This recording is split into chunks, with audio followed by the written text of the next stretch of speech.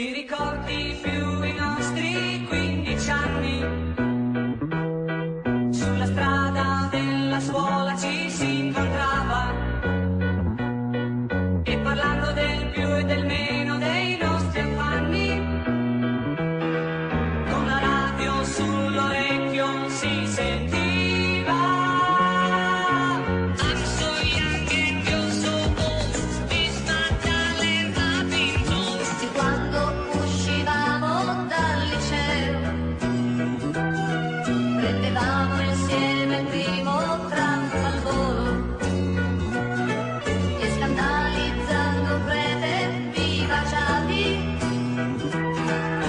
matando.